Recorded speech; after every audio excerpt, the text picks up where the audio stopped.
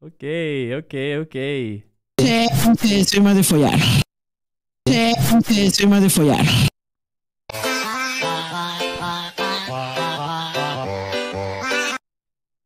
Oh, man, ¿por qué os andáis pendejeando al Rodney tanto, tío?